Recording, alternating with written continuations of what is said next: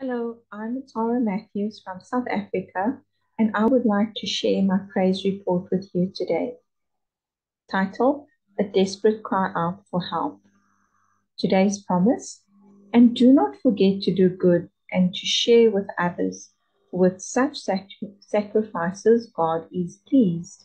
Hebrews 13, verse 16. Hello, brides. Today I just want to share a praise of how my husband always provides. My son was blessed with some clothing and school clothing from my earthly husband Dale's colleague.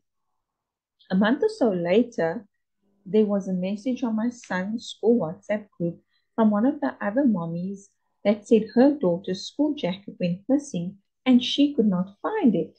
This happened in the middle of winter, so mornings are quite cold and kids need a jersey or jacket at least. Reading between the lines, I could hear that it was a desperate cry out for help. I spoke to my love because I had an extra jacket for my son.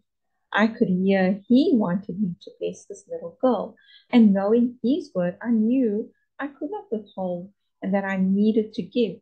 So I blessed this little girl with the extra school jacket. A month or two later, my son loses his jacket. I went to school, checked lost and found, and it was not found.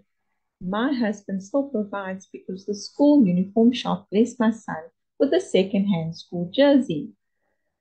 This is where my praise gets really, really good. A few months later, Dale's colleague blesses us again, but this time he gives only school things and lots of it. White school t-shirts, three school jacket, three school jackets, tracksuit pants, peachy shorts, socks, when we give, we truly do receive, pressed down, shaken together, and running over. Isn't He just so good to us? After my son lost his jersey, I did question myself and I did have thought of maybe I should not have given it. But after the blessings of receiving all those school items, I knew I did the right thing by giving. I'm really thankful for the opportunity he gave me to learn such an important lesson regarding the principle of giving. Don't doubt when you have the opportunity to give. See it as an opportunity to see how He will bless you double or even triple. Give, and it will be given to you. They will pour into your lap a good measure, pressed down, shaken together, and running over, with no space, space left for more. For with the standard of measurement you use when you do good to others, it will be measured to you in return. Luke 6, verse 38. And do not forget to do good and to share with others, for with such sacrifices God is pleased. Hebrews 13, verse 16. Freely you have received, freely give.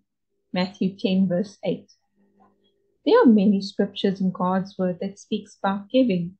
If we find it hard to give, we need to ask Him to help us because His word says that He loves a cheerful giver.